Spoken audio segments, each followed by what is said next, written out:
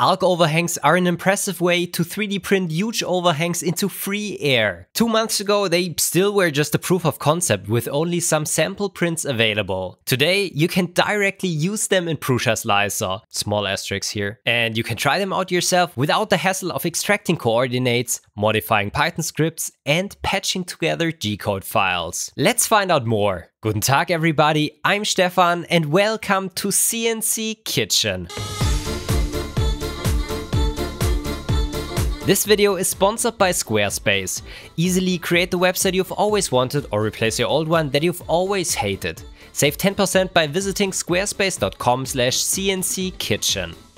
3D printing is often called a disruptive technology where anything is possible and engineers have total design freedom. Complexity is free. Well, to some degree this is true. Additive manufacturing can produce parts and shapes that would be impossible with conventional manufacturing techniques. But it also has its limitations. One of these limitations is the overhang angle. The steeper overhangs become, the harder they are to print, and once we reach completely horizontal surfaces, the extruded material will just droop down. Here is where the idea from Stephen McCulloch comes into play. He extruded individual arcs next to each other that are self-supporting, and he can this way print huge overhang surfaces without the need for supports. If you want more details on how this method works, check out my previous video linked here and also linked below.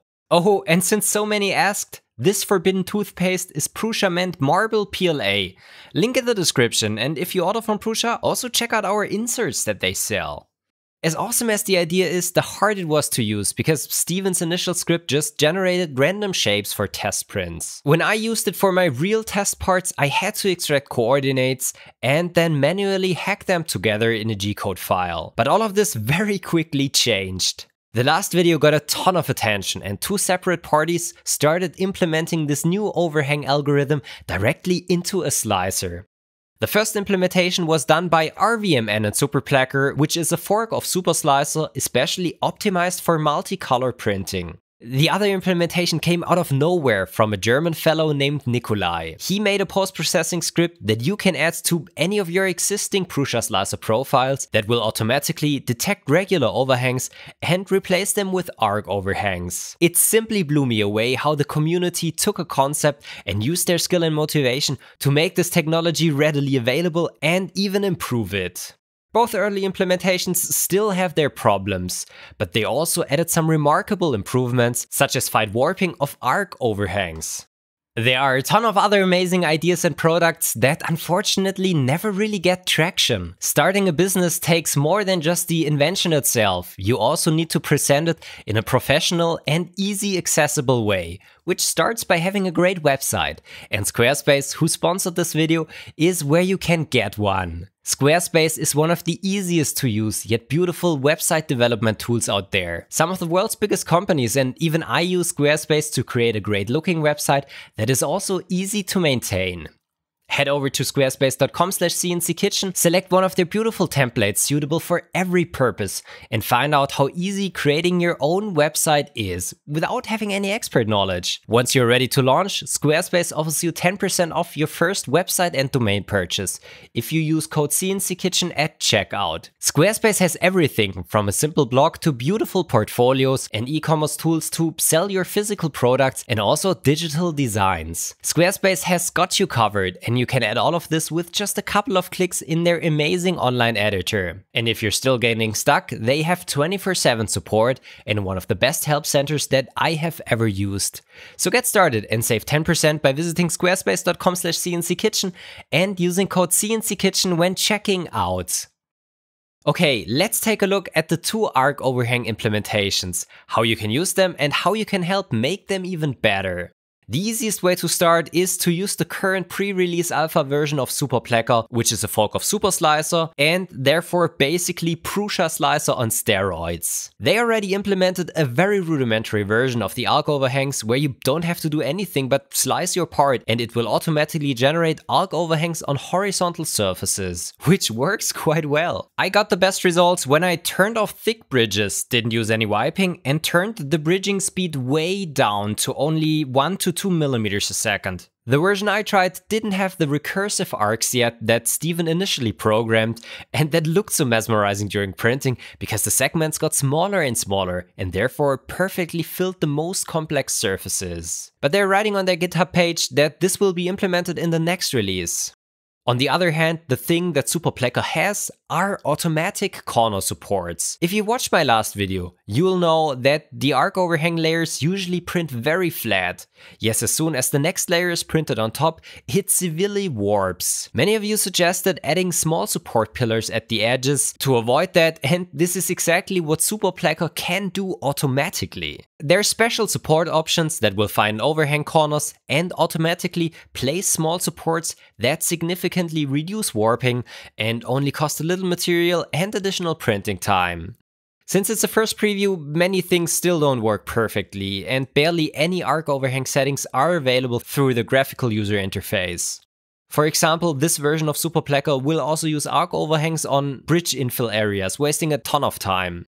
But as I said, this is the first preview to get an idea of what we will see in future releases. And if the release notes are true, there might already be the next, more advanced version released once you see this video. So check out their GitHub page. But if you want to go even deeper in the arc overhang rabbit hole, then you need to try out Nicolai's Prusa Slicer post-processing script that's directly based on the original arc overhang technology. This is a bit more involved because it's still running in Python and needs a Python installation on your machine. Nicolai has a short guide on his GitHub, but this is what you need to get it running. Download Python and during installation activate the path option right here. Once this is done, I created a new temp folder in the root directory of my hard drive to ensure that there are no spaces in the path. Then I downloaded the Python script and the requirements file and put them into this directory.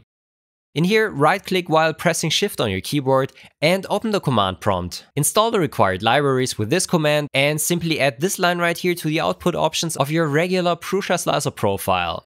This points to the Python exe and the arc overhang script. Now you're good to go. With this method, the arc overhangs won't be generated in Prusa Slicer itself, so you won't see them at first.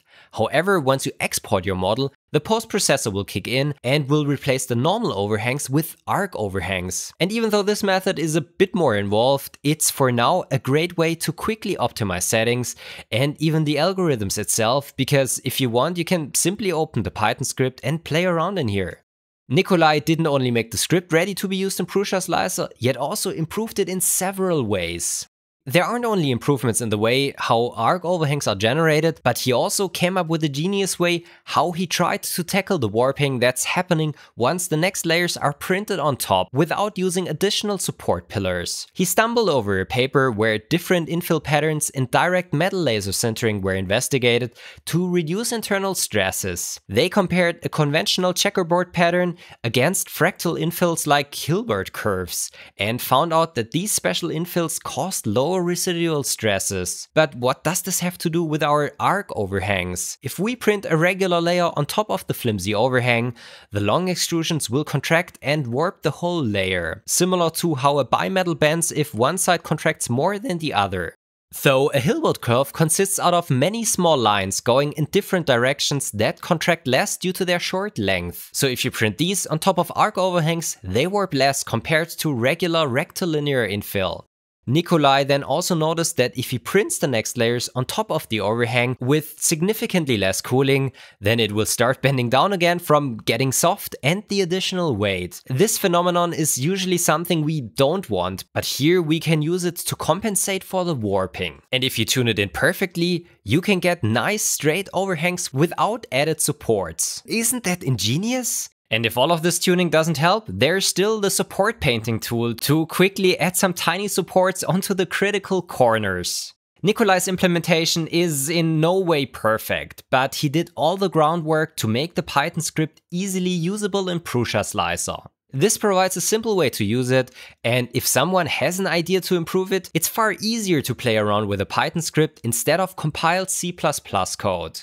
These two ways of easily using arc overhangs in Prusa Slicer finally made the method accessible for many enthusiasts. But will it be the future of overhang handling? I personally think it won't replace regular supports, but they might be a great way to complement them. Organic supports just recently showed once again how even classic supports can still be vastly improved and now provide a way to support almost any structure with a minimal material effort and are easy to remove but they still need material, require rework, and if you have internal surfaces, might even be almost impossible to remove. Arc overhangs are slow and will probably remain slow and need a ton of tuning. But they don't need any additional material or maybe only little and produce parts that are ready to use. So for overnight prints, serial production parts where you can take the time to tune in the process or complex parts that you want to use right away, arc overhangs might be the new way to go if we continue improving it. So if you are excited what Steven, Nicolai and the guys from SuperPleccer achieved in such a short amount of time, try it out, give feedback and if you have the skill and motivation, help bring open source 3D printing another step forward. Links to both releases in the description by the way. I hope you found this update on arc overhangs interesting. If you did, leave a like and let me know what you think the future of overhang handling will be. Classic supports or fancy arc overhangs. Thanks for watching everyone. I hope you found this video interesting. If you want to support my work, head over to Patreon or become a YouTube member. Also check out the other videos in my library. I hope to see you in the next one. Auf Wiedersehen and goodbye.